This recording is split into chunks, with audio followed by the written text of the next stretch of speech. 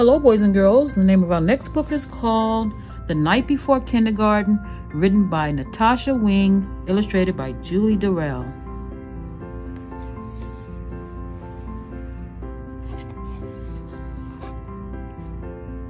Twas the night before kindergarten, and as they prepared, kids were excited and a little bit scared.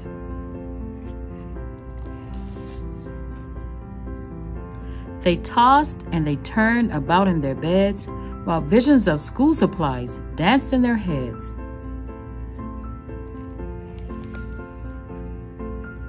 Erasers and crayons and pencils galore were stuffed in their backpacks and set by the door.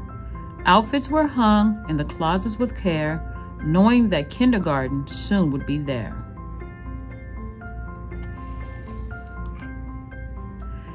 In the morning it came. School starts today. Will the teacher be nice? Would they still get to play? Faces were washed and teeth were brushed white. Kids posed for pictures with eyes sparkling bright.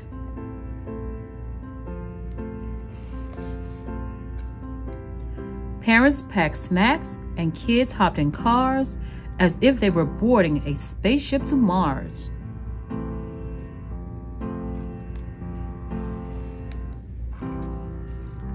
Some kids bought blankets or their favorite stuffed bear in hopes they could nap like they did in daycare. Their parents exclaimed, You're big kids, wow! Let us hold your bears and blankies for now.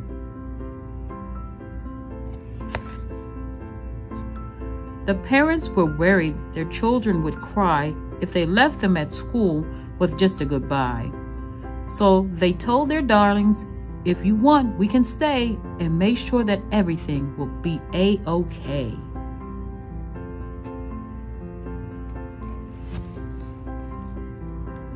The teacher then greeted each one with a smile and invited the students to stay for a while.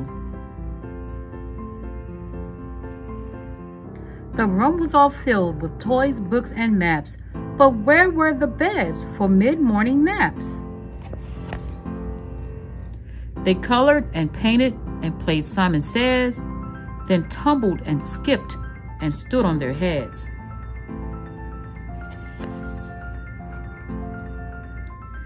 They sang silly songs from beginning to end. Within just a minute, each kid had a friend.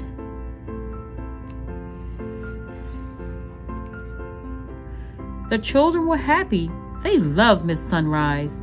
It was she who was in for a giant surprise.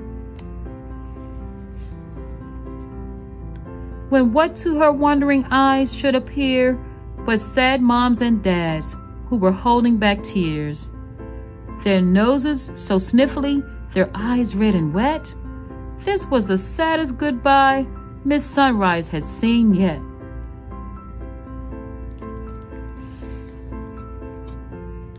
She gathered the grown ups on the magical rug, then sent them away after one final hug.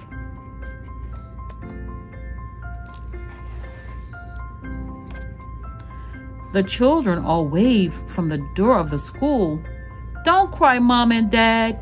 Kindergarten is cool. Boys and girls, I hope you enjoyed this book. School will be opening soon, and I hope that you all enjoy your first day. Thank you for listening to our story, The Night Before Kindergarten. Bye.